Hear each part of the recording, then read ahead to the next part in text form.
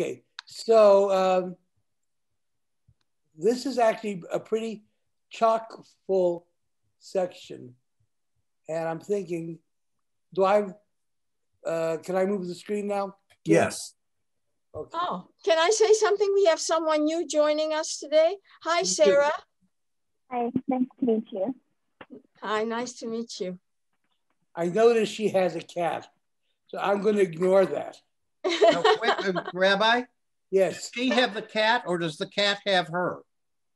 With cats, it's hard to tell. I've always thought that whenever I see a cat, they're just just sitting there wishing they were larger.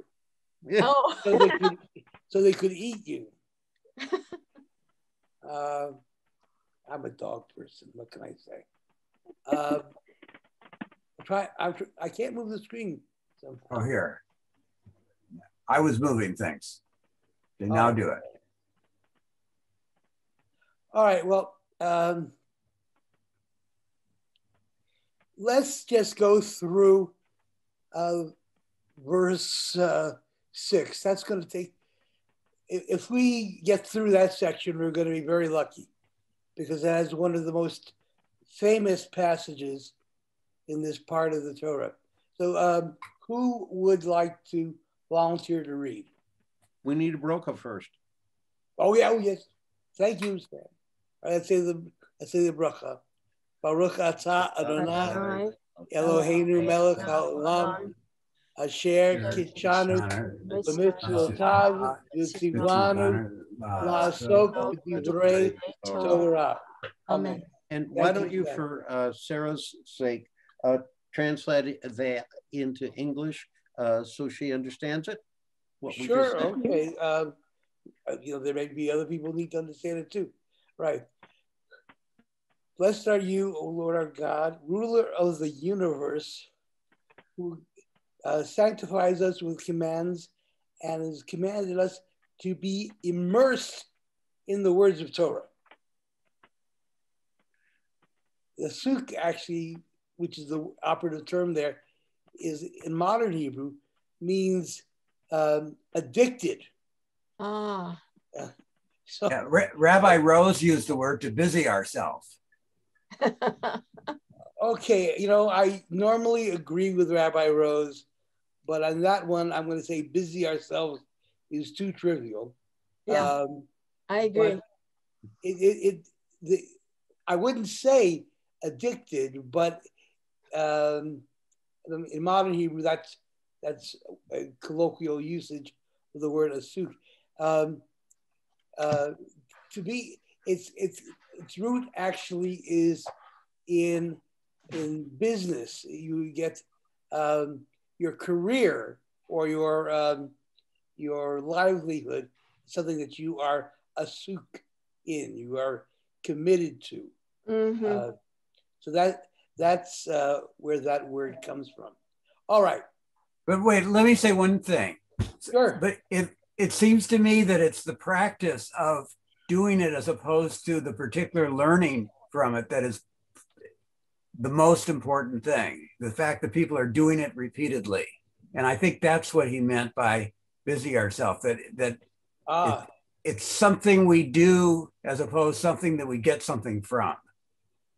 That's that's fine. I go along with that. Okay. Uh, busy. All right. I, so he's he's playing a little, I'm sure. Yeah. Okay. It's a little cute. Okay.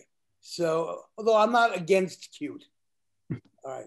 So, um, will somebody uh, volunteer to read through um, verse six, please?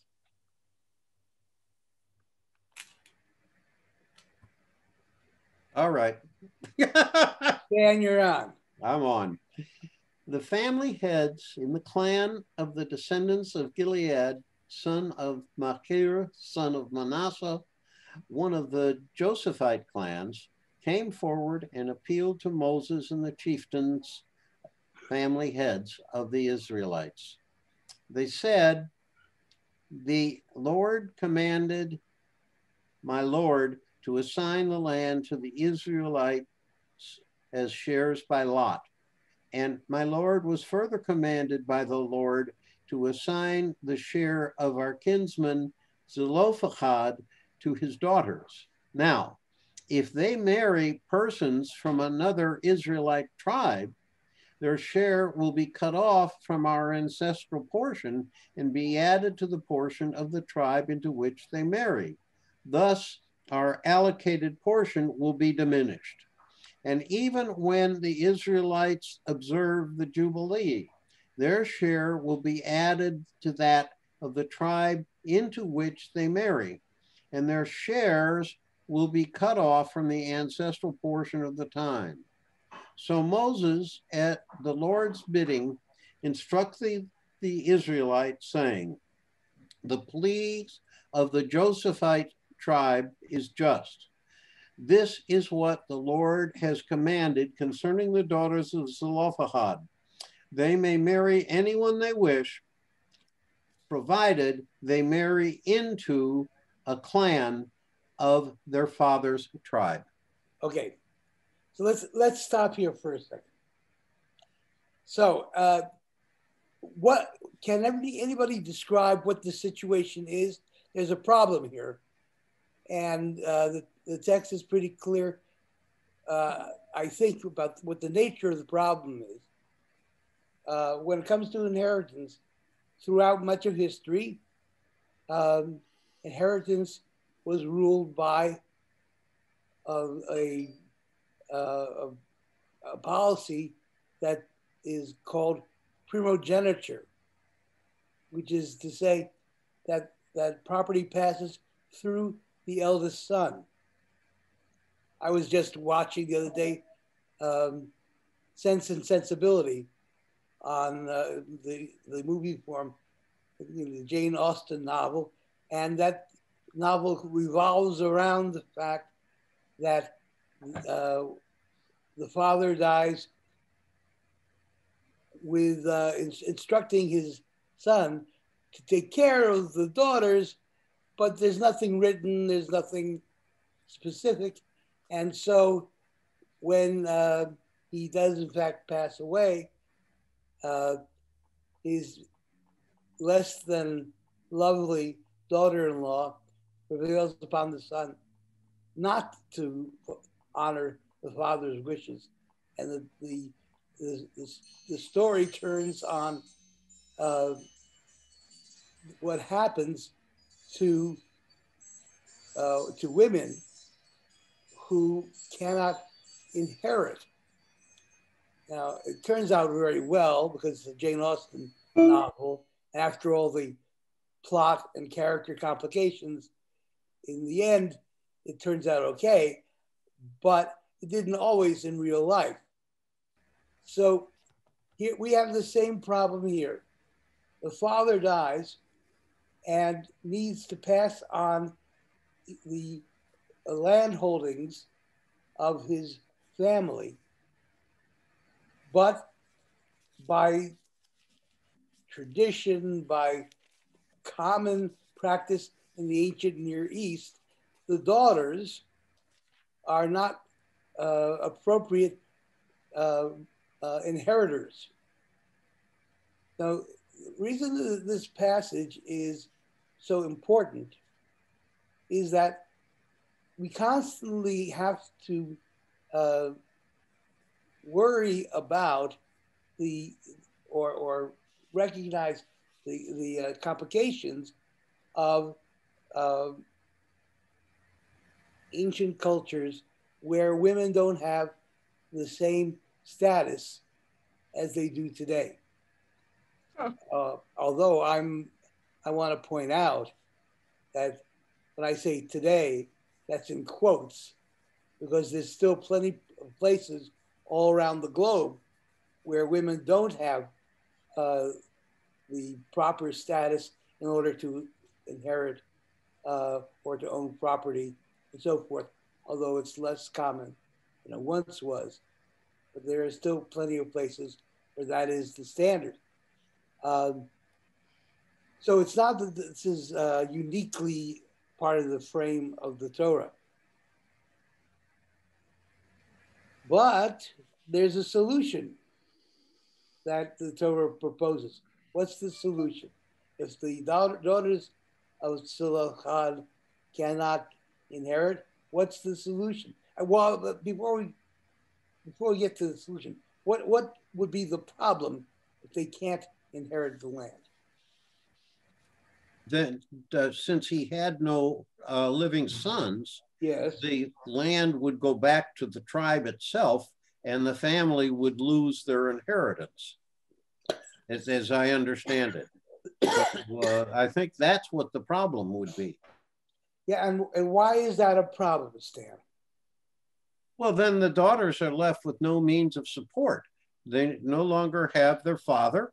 They have no male relatives of their own generation uh, in the family, and so they would be destitute.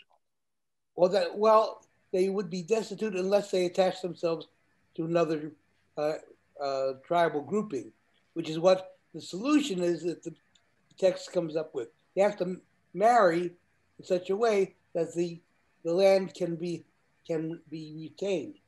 Why is that the problem? I mean, all right, so women don't own land. That's not unusual in the ancient world. What there's a larger problem. Well, How? the diminishment, I suppose, the diminishment of their uh, land holdings. Uh, if you know, they have to be assured of the fact somehow that that the the tribe and the daughters here uh, that that tribe um, does not diminish itself either through membership or through land. You're you're on the right track. Uh, what when you say diminishment, what do you have in mind? That uh, should they marry someone from another tribe, that they uh, leave their own tribe and um, in some way that diminishes, well, of course, then they don't belong to their father's tribe anymore because they go with their husbands. And then their land also is, is diminished because of that or the holdings. You are like in, you, you're like a kiss away, Judy. okay. Uh, uh, Rabbi? Um, yes, ma'am. Yes, I'm, I'm kind of thinking is it the problem they want to prevent the movement of land from one tribe to the other? Otherwise, if the movement will occur, there will be changes in the uh, size of each tribe, uh, tribal land. You are so close. I, I can't believe how close you are. How does this section start? It starts with the God apportioning the land to all the tribes. What would be the problem if a section of one of the tribes lost its land?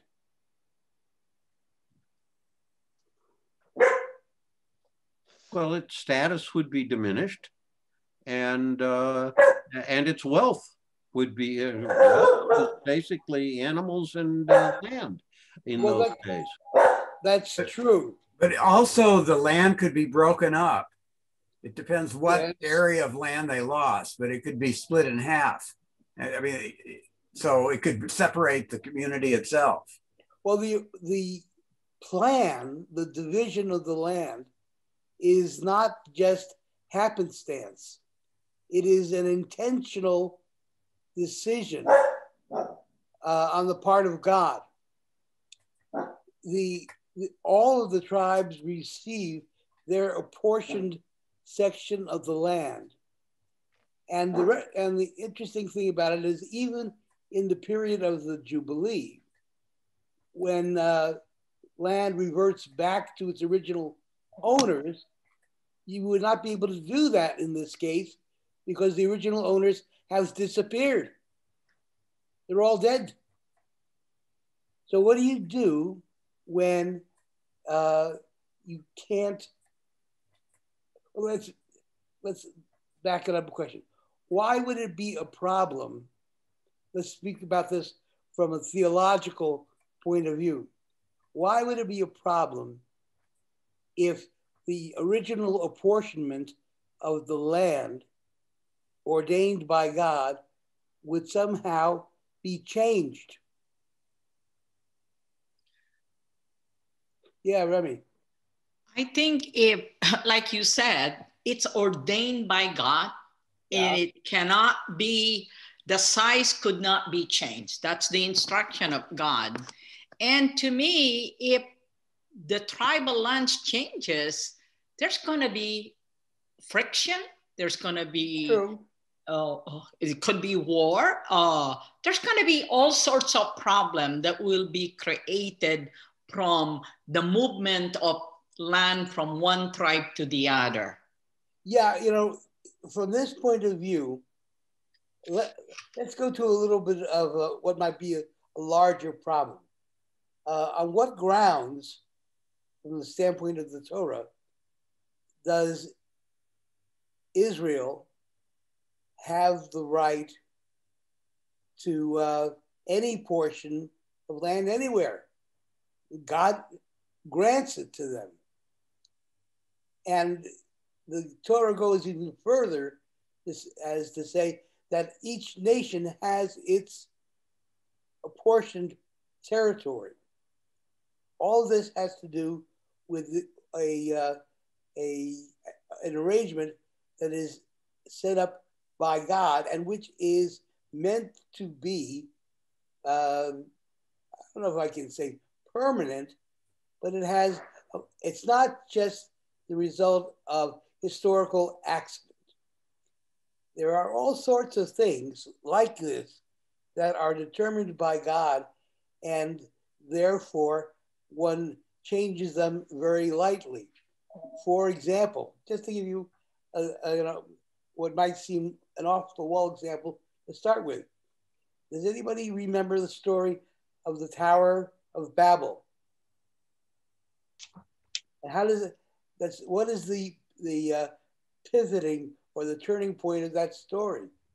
It's that from, from a uh, folkloristic point of view, it's a way of explaining how each nation has its own language. And those languages uh, were in danger of being of disappearing if this tower was going to be built.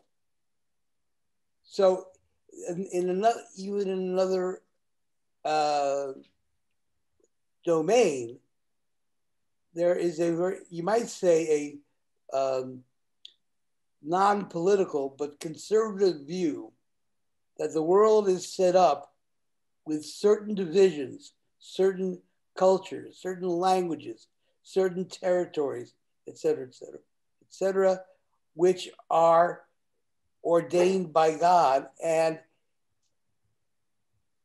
which have some kind of special status. Now, you can imagine that even though that might be the, the, the point, there might come a time when uh, having no, no flexibility. Bella, uh, no flexibility at all would be a problem. And this is one of them. If in this case, so the daughters of Zelophehad uh, cannot inherit the land, then it then the structure or the division of territory that God has ordained is going to be flouted. It's going to be, it's going to disappear. It's going to be disobeyed. So even though there is a kind of um, static view of who lives where and languages and territories and so forth, all of which are ordained by God even so, sometimes you have to fudge it a little bit. you have to introduce some level of flexibility. And here's one of them. Now, the interesting thing about it is what does this say, say about the the rule of primogeniture of, of uh, territories and so forth going through the oldest son. That's the general principle in the ancient world. How, when that runs up against the uh, division of land, let's say, uh, ordained by God, which principle wins?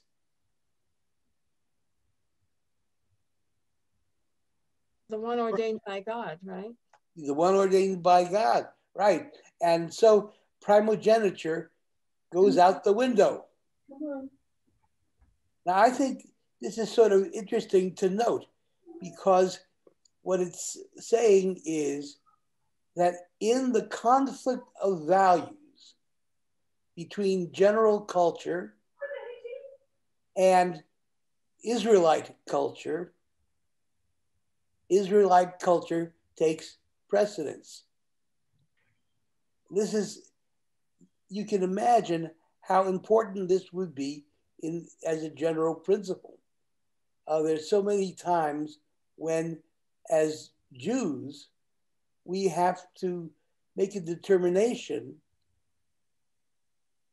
when two principles, two uh, moral or, or theological principles come into conflict with each other, one of them from the Jewish tradition, one of them from general culture. How do we resolve those conflicts? Well, it, the general culture does not automatically win. The Jewish culture is strong enough so that that becomes the governing principle. Being the exception to the rule is part of being uh, a member of the Israelite or Jewish people. We are constantly in that position of being the exception to the rule. And we try to, uh, to uh, coexist, but when push comes to shove, if the principle is important enough, we will make changes that support what we think it is that God is doing. Yeah, Remy. Yes, sir. Uh, I, I have a question, what you just gave us. Can you give us an example about this Jewish culture principles versus uh, non-Jew and the Jewish uh, uh, sure. belief system prevails? Well, you know, there are so many examples. Some of them are very, very important some of them don't seem quite so important, but really are. I mean, there's a, there's a, there's a, there is my my grandmother would have said there are 88 of them. So I'll give you an example. Oh, Judy, yeah. Uh, may may I give an example that has been really sure. to me? Sure. Okay, it's the ultra orthodox community that will um, many members, not all, but many members and many of their leaders, rabbis, right here in this country, in New York, who will not abide by the um, uh, no crowd, no crowd, no mask uh, assemblage when it comes to their observance of, let's say, a, fam- uh, a rabbi's funeral or uh, their wedding or yeah. other communal issues. And I, same thing is true in Israel, apparently, where uh, the uh, police have been called out there to try to manage these ultra Orthodox, some of the ultra Orthodox in the community there who will not obey these rules to keep the pandemic down. Rabbi? Yeah. That's Can I that's give another one? Go ahead. Yeah. Um, back, back before the internet, uh, I would sometimes go to New York merchants uh, for camera equipment. And many of the houses that you would go to, like what, 47th Street Photo or something, right. would be owned by Jewish people. Now, the biggest business day of the week in those days in the United States was Saturday. But those businesses closed at 3 p.m. on Friday and didn't reopen again until Sunday for observance of Shabbat and not working on Shabbat. And I don't know that, that that would have been true for any Orthodox person, I think, not just the uh, ultra Orthodox. Well, and it might even be true for some who are not Orthodox, but um, that's, a, that's a good example. Well, but it seems to me that's that's kind of an opposite example. That's just what I was about to say. Say more about that, Kim. Well, the the, the Orthodox uh, camera owners are following, not following the community, but following the bigger principle. I thought of one, and that is are not re being required to wear a yarmulke at Beth Israel because generally that's the rule that you wear a yarmulke. You know, that is such an interesting example because, you know, um, I'm just, you, you all know that I just had a birthday. I turned 70. And I'm, I've been around long enough to remember when in Reformed congregations, it wasn't just that you had a choice to wear a yarmulke or not. But you did not wear one because it was not the reform practice. We had our own kind of small O orthodoxy. Nowadays, we in the reform movement, we are what uh, some people used to call warm to tradition. And people wear yarmulkes and so forth. But back in the day of what they used to call classic Reform Judaism, you didn't do that. Nobody wore for it. And in fact, if you wore a yarmulke, you were asked to remove it. Oh, wow. So things, these things change a lot. But what I want to get to here is that in the in the uh, in this case, the idea of, of the daughters of Tzolokha is that in the conflict between the general culture and Israelite culture, there was a necess- perceived necessity to preserve following the Israelite culture. Why? Because the integrity of the Israelite people was at stake. If parts of the Israelite people lost their land holdings or if tribes disintegrated, that was a real problem from the standpoint of God's ordaining a certain structure for um, for the Israelites. Remember that going all the way back to the uh, wilderness experience, how the tribes were set up in the spokes of the circle with the uh, the altar in the center and so forth. That was all meant to create a certain kind of sense of community integrity, integrity of the community, not to say, you know, a moral um, integrity. And when, excuse me, sorry, sorry, I'm sorry. sorry. So um, the idea that there was a kind of ideal arrangement of the various components of the Israelite people was not something that happened just all of a sudden when they uh, went, went into Canaan.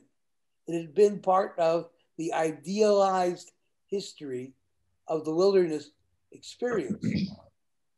So um, you can, the integrity that I'm talking about here is that there is a, a sense in which uh, the Jewish people is settled or structured in such a way that its parts have a certain relationship to each other. So now in this in this case, if the daughters of Tzlachad do not inherit that idealized structure is broken. It is dissipated in some way.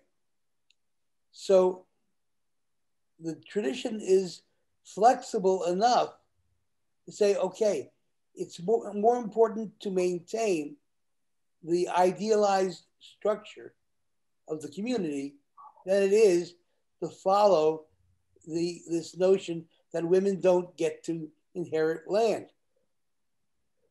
And so, although normally that might be an okay principle, in this case, where it comes up, butts up against maintaining this uh, uh, structure God has ordained, it gives way. Okay.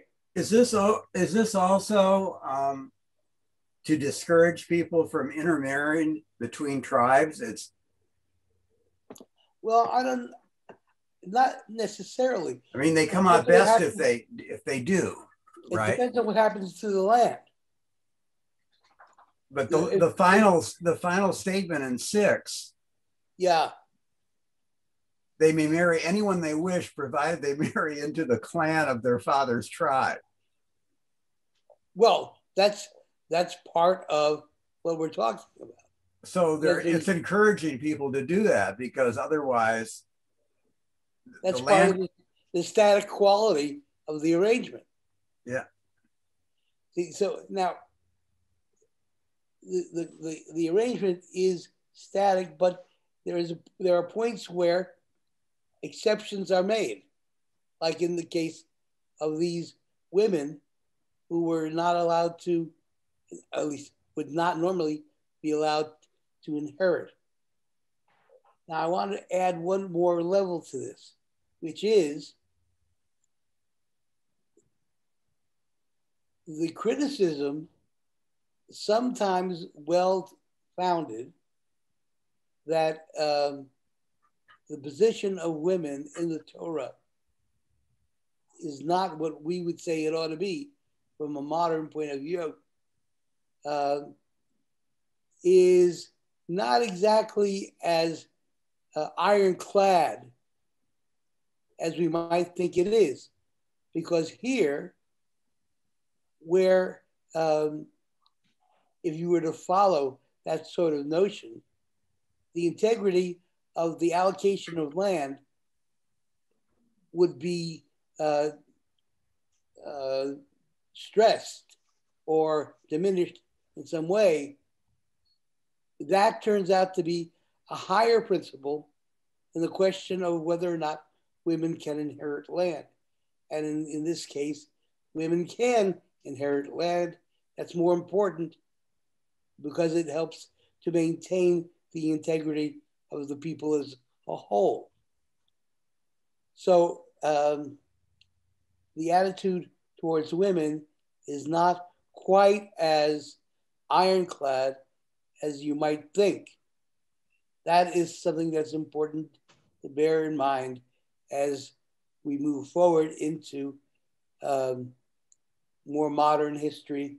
And again, uh, the uh, ancient notions, if you want to call them that, are challenged by changing outside uh, conditions or principles what we're getting at, yeah, Judy, go ahead. Um, the I'm muting myself here. oh, oh, okay. Because there were three of us with hands up. Oh, okay. I'm sorry. I called on Judy first, but I'll okay. get to the other of you in just a minute. Just briefly, I'm a little bit confused. Could you clarify how the flexibility is shown towards these women? You're allowed to inherit. Uh, but okay, so they're not allowed to inherit if they marry outside the clan. Is that correct? That's right. And they are allowed to, of course, if they marry someone within the clan, which they are encouraged to do. Right. The general principle is that women don't inherit. But in this all. case, they, they can inherit because if they don't inherit, then the integrity of the apportionment of land that God ordained is disturbed. Okay. So there is there is a larger principle than whether or not women can be landowners, even though uh, in general practice in those days in the ancient world, women were not landowners. In order to to maintain the integrity of what God has ordained as the structure of Israelite society, that is that trumps the question of whether or not women can inherit land. So there's no flexibility there as far as I see that uh, in that comment. I don't disagree. I think that's correct, but I don't see where that's flexible. Well, it's flexible because if they didn't allow that, then women wouldn't inherit the land.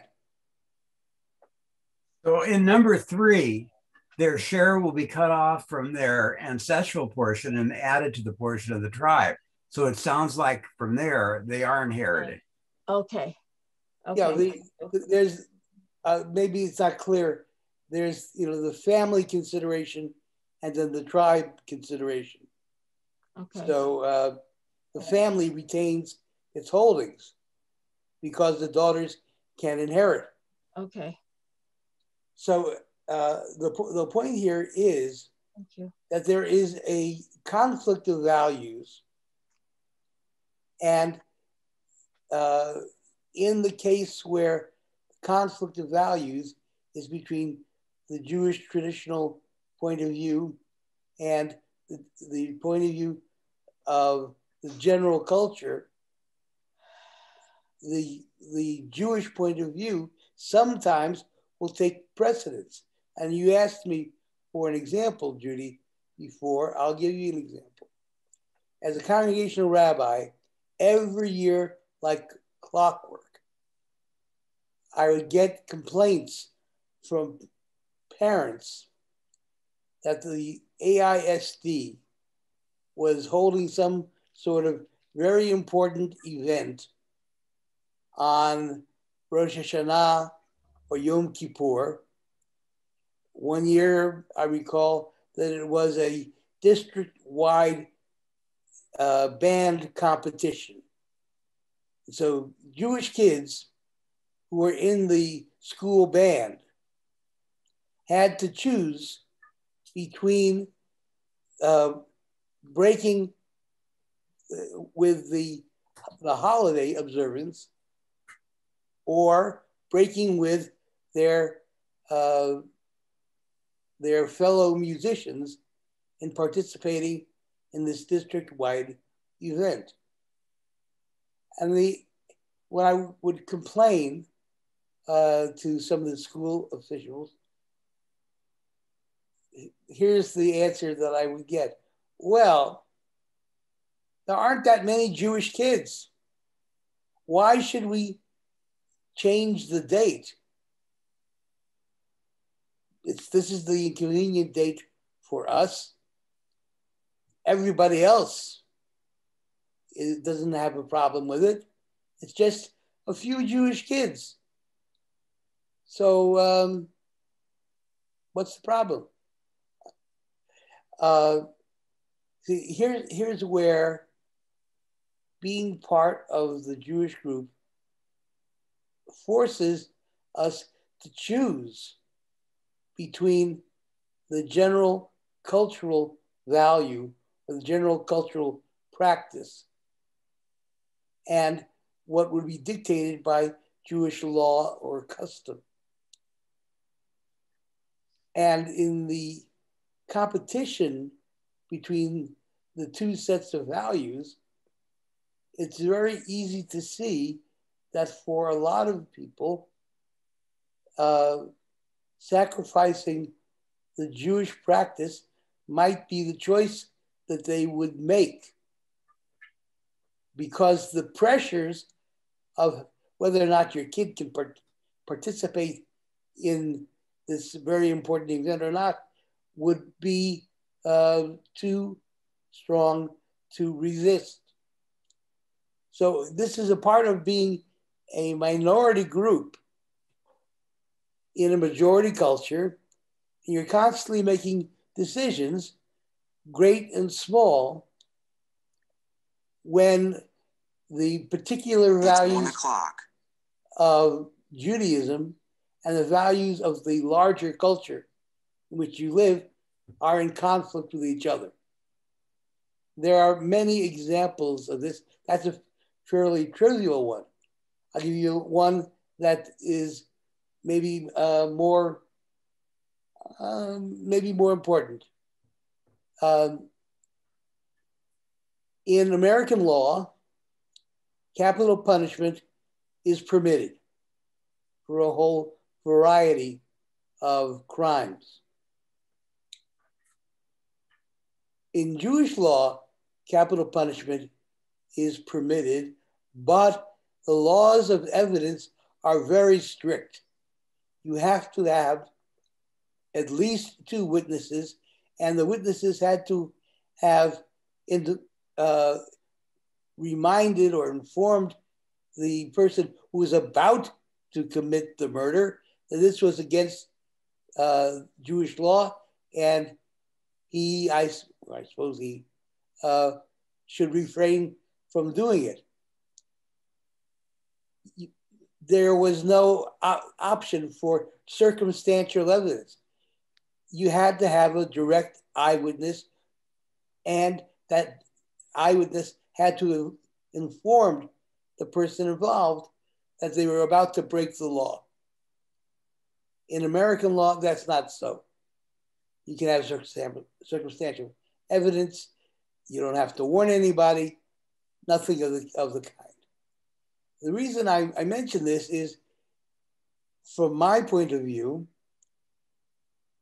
capital punishment is an example of a value in the general culture that as Jews, we ought to resist because it is it it flouts some very important principles of Jewish law. As I'm saying, as a Jew, you ought to oppose capital punishment. Um, there are many, many examples like this. This is kind of what Judy was pointing to. And uh, in the case of this section of the Torah, what we are learning is that even in the sort of uh, relatively neutral uh, domain of, of civil inheritance, these conflicts can exist, and we are uh, uh, we learn that there are times when uh, we have to adjust as a result of that. Um, so, I think Sarah and Stan and maybe. Okay, Sarah, you're up. Um, we were talking about flexibility in in this um, to keep the tribe together, they allow women to inherit um, if they marry within the tribe. Uh, and excuse me if I'm wrong or off base, but I also see flexibility in the commandment of they may marry who they wish as long as it's within the tribe. Um, it, most of the time, women were not given an option um, of who they may wish to marry. Um, so there, there is like a compromise to me of you can't marry outward, but you can inherit, and yeah. you get to marry whoever you wish in this group. So to me, that that showed even more flexibility.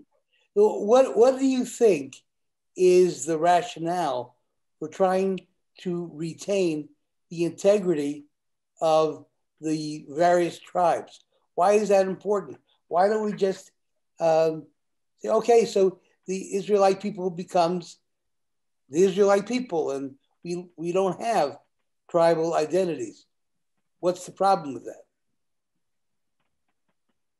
Um, I think the more that you fraction off communities, the more you lose uh, the traditions, the values of those I, communities. I would agree. There are distinctions or customs from one tribe to another that have to do with the identity of that tribe. Uh, you know, these are not um, neutral designations. Dan was a tribe that was connected with judgment. The very name of the tribe, Dan, means ju- has to do with judgment. Or uh, uh, Binyamin, the son my right hand, has to do with the question of um, uh, the transfer of tradition from one generation to another. So I think you're very strongly on the right path. These, these various tribes had different customs, and those customs were important. It's the same example as the question of languages in the Tower of Babel. There is something valuable about difference that uh, we don't want to lose the peculiar or particular customs or traditions of one subgroup or another. And you can see why, from the standpoint of, of being an Israelite or being Jewish, that you would make that argument. Because that's constantly the, the conflict that as a, as a Jew, we have to face. This, the many ways in which there are pressures for us to give up the distinctive practices that are part of our identity. Does that make sense? Yes, Dan. Yeah, uh, what Sarah said just triggered another notion uh, that is okay. against general principle in this case, and that is, I think it was true generally that a woman was not allowed to marry whoever she wanted. It was up to her father uh, to, to choose someone, or if the father was dead, the oldest brother. But in this case, clearly there wasn't a possibility of that.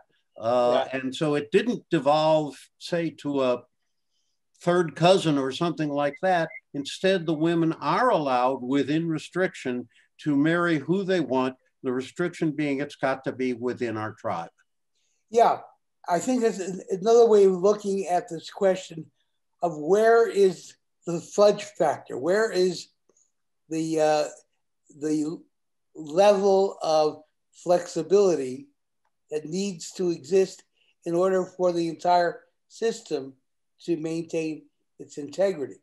Now, uh, this is not a problem in the ancient world only part of what I was trying to point out before is that even today, this is an issue for Jews. It's an issue for minority cultures.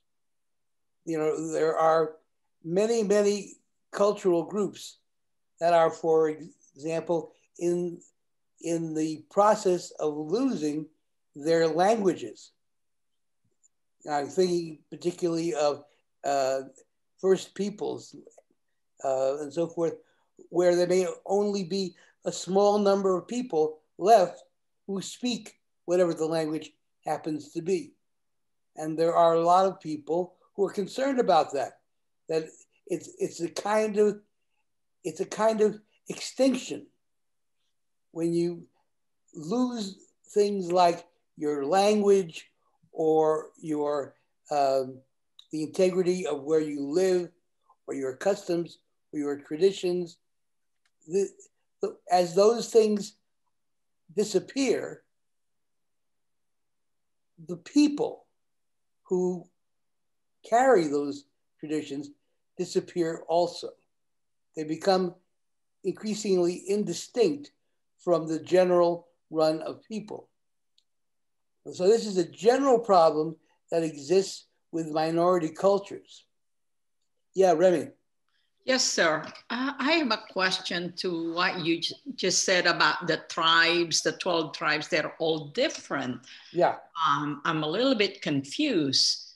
The Jewish people came from, the present Jews came from the line of Judah. Am I right? And then the other tribes, we don't know where they are or what? Or I'm confused. well, this gets very complicated, Remy. and I'll, I'll, I'll tell you why it's complicated. Jews, um, how do I put this? When the uh, emancipation comes and Jews are able to enter general culture, they are not restricted to their ghettos or to their little groups. One of the things that happens is they don't have last names. Okay. What is your Hebrew name? My Hebrew name is Chaim ben Velvel Esther. Chaim, son of Velvel and Esther. It's not none of those are last names, but that's how we were always named that that, that way. But when you when Jews entered into the general culture, they had to have last names. So they were at that point, all sorts of people were choosing a family last name. So, what name do you think they chose most often? The, the, the name of the city they came from? That was one, yeah. But for example, my mother's maiden name was Metz. Oh, there you go. Or how about Bamberger or Hamburger? A lot, that's a lot of a lot of people do that but that was not the that was not the most popular one. Well, in my father's mm-hmm. case, it was Edelman, obviously, and that meant honorable man. So they would choose something that reflected well on the family. That's true. That's true. And what name did they have chosen that would reflect most well on the family? Judy. So my father's name was Itzkovitz, son of Isaac son of Yitzhak. All right, so this is very important because to be to emphasize the the, uh, the one's descendants from a patriarch is high status. Yeah, I'm surprised you guys didn't get this right away. Cohen and variations of Cohen of course. were the most most popular names that were chosen. Next was Levy and, and other and variants of Levy. Why? Because you would want to assert your descendants right. from the tri- from the group of priests or, or priestly assistants.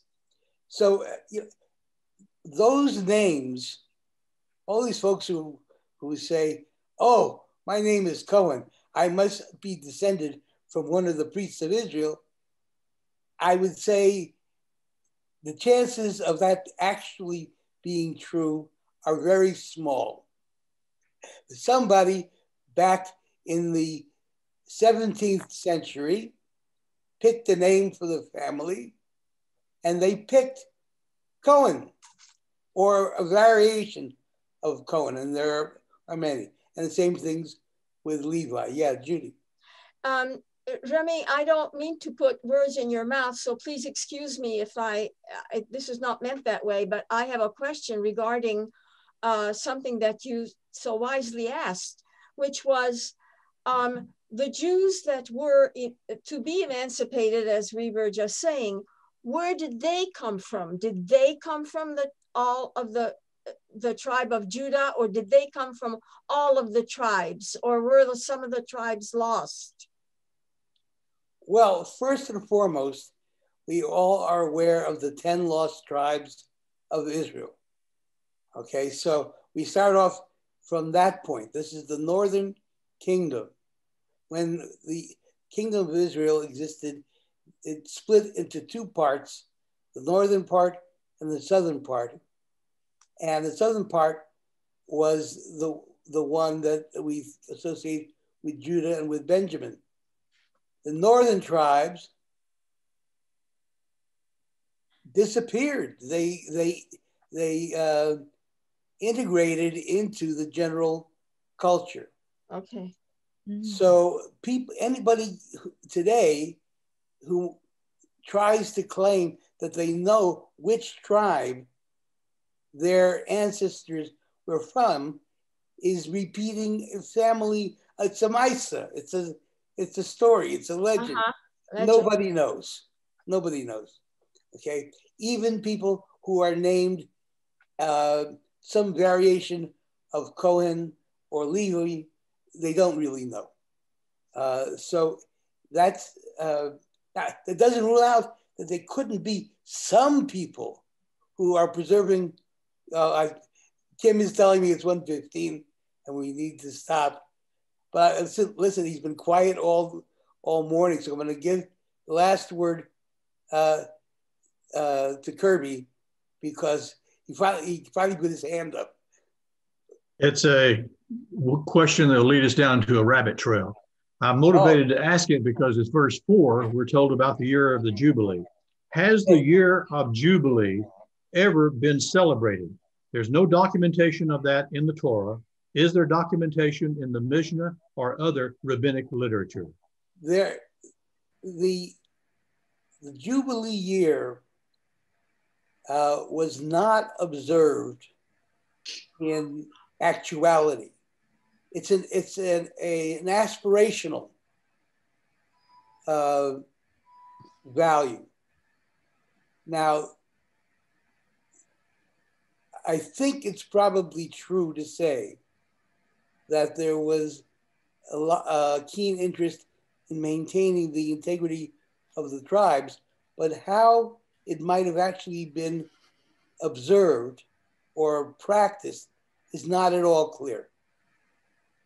So I'm not saying that it could not have been, but it's for, there are no sources that give us exact details about how it might have been enforced. That was a very good answer that kept us from going down a rabbit trail. I can I congratulate you. Thank you, Kirby. After all these years, I've learned something. There you go. all right, everybody. Thank uh, you so much uh, for all your sharing about my question. Thank you, Judith. Oh, Thank you're you. You're all very, very, very welcome. Yeah, and I hope I see everybody back again next week. Okay. Thank Have you. Take care, everyone. Thank you. Thank you.